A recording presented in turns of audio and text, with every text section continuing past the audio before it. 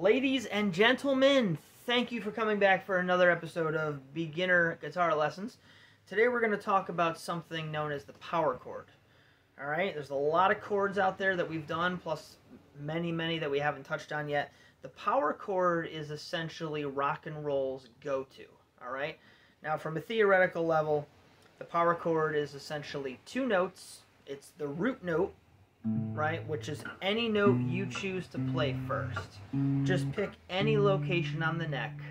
I'm just going to pick 6 5, right? That's A. That's your root. To form a power chord, all you do is take another finger, preferably your ring finger, and you're going to place it on the string below, two frets higher. All right?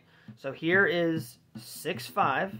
That is your root note and here is 5 7. That is what's called your fifth.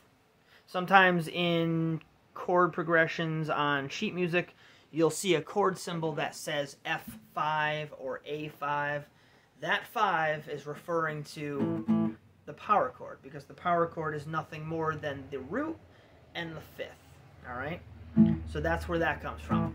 What's really cool about this power chord is that as long as you're starting on string 6, 5, or 4, that shape can be moved up or down the neck any which way you want all day long. So all you got to do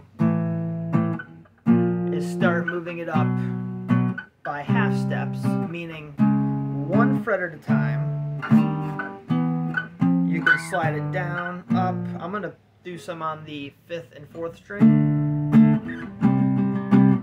Down to the 6th string.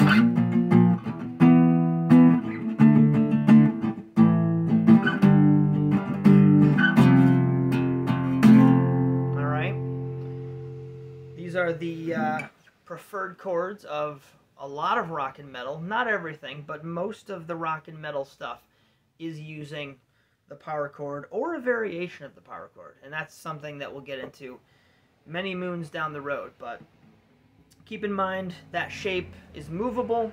You can move it up, you can move it down, you can move it amongst the strings. As long as you're not incorporating string 2 or 1, then you should be good because the distance between the strings on the B string kind of throws everything off. So just stick with strings 6, 5, and 4 as the root note strings, and you will be good to go. Have fun with this one, move it around, play quick, right? And uh, have a great day. As always, thanks for watching. Take care.